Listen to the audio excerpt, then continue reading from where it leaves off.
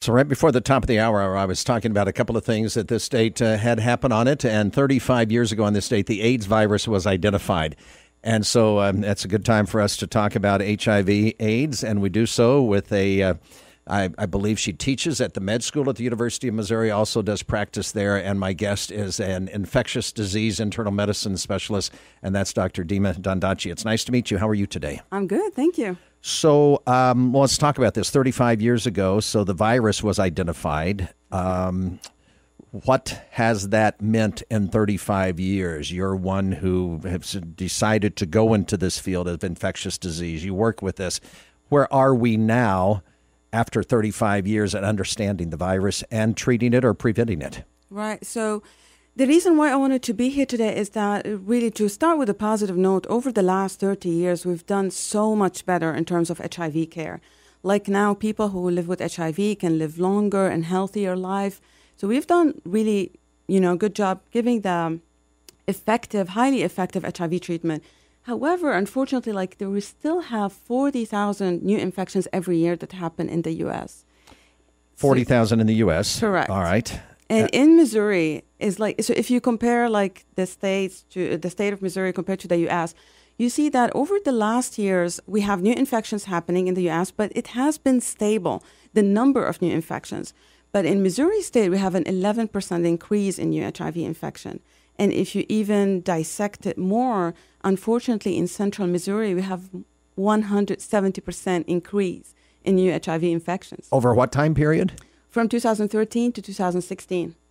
Wow. So it's a dramatic that is increase. A big increase. The number are small, but still it's the percentage increase that is very uh, dramatic. So my next question, I think everybody would say, well, why? Why? What, what is yeah. the what is the guess as to why this has happened? Right, and I think like the reasons are really complex, but and no, there's no easy explanation or one explanation for for why um, there is an increase. But there are several factors and it's important to look at them in order to say, like, what are the options we have in order to prevent the HIV from spreading? I would say the first thing is that people don't know they have HIV. Like many people do not get tested, and unfortunately, you can have HIV for so many years before having any symptoms. Really? There's no symptoms that come uh, early on?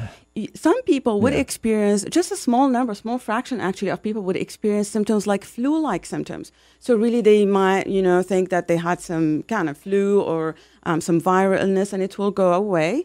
And then after that, years after, they will not have any symptoms until the HIV attacks their immune system. And this is when they develop, you know, symptoms for that. So, when they don't know they have HIV, they go on and infect mm. other people. So even the CDC, the Centers of Disease Control, tell us like one in seven are unaware of their diagnosis.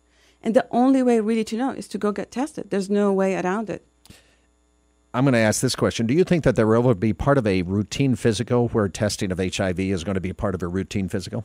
Well, all the recommendation now recommends that everyone should get tested at least once in their lifetime, and then more often if they are at risk of having HIV infection, acquiring the virus. Is it a simple blood test? I mean, could it be done as long as well as whenever I go and they take my blood out for a physical and they test it for all these other things? Could it be just simply yes. incorporated that way? Huh? Sure, exactly. And this is what we kind of promote that you know if you've never had HIV test done, then do it like once and um, you know make sure you don't have it and that's it. How much of a complacency do you think has set in? In other words, people saying, "Well, you know, it's not as it's not talked about as much as it used to be. It doesn't seem to be as big a problem as you said. There are means that people can go through it and live with HIV for a long time." Different messages than what we used to hear. Right. So that's exactly like some people think that you know the people who are most affected by this increase in HIV infection are young the young people. And they and many people say that probably this young generation are too young to remember mm. how was it the HIV epidemic and how bad it was, how many people died of this. And I would say that's right. You know, HIV is no longer a death sentence. We have uh, effective treatment, and people live almost a nearly like normal lifespan compared to other people. However, it's a it's a chronic disease. Unfortunately, we do not have cure for it, and it's not like you it's a it's not a death sentence but it's a life sentence where you have to go to the doctors you have to take treatment complications. The social impact on on the people's life and social aspect is very important as well. So there is medication that would help people live with it. Is there work being done towards maybe a vaccine or something else that you would take to try to prevent mumps or chickenpox or something? And also, you would have a vaccine that you would be required to take somewhere along the way to protect you from HIV? Well, I. I wish we had an HIV vaccine. That would be kind of the best to have a vaccine really to prevent the disease. But until now, we do not have that. And it's not clear if we will have an HIV vaccine in the near future. Um, go yeah, ahead. Sorry. No, go ahead. So we have another way. So uh, I wanted to stress and increase awareness about an option, a really powerful option that we have to prevent HIV, which is the uh, pre-exposure prophylaxis.